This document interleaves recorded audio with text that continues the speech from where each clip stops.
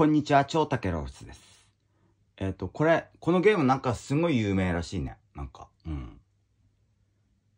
で、あの、関係ないんですけど、うん。この女の人いるじゃん。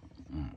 なんか、鼻がないような、鼻の穴しかないような、うん。うん。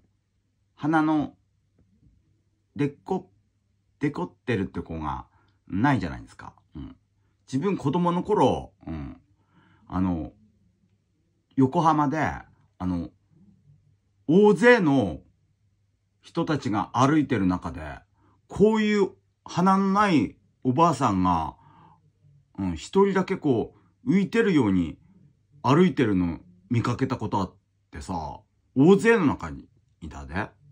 一人だけこういうおばさんがいてさ、俺、すっごい怖かったっていうかさ、うん。大勢の中で偶然鼻のないおばあさんが歩いてたのね。うん。